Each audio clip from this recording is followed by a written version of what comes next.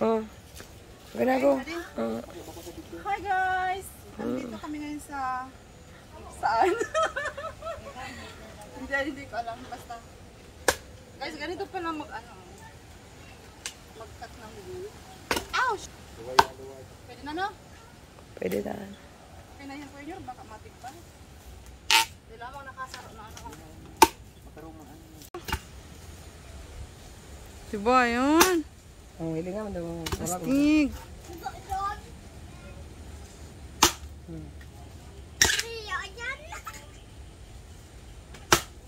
Galing. Tapos mastika ka na. Masiram.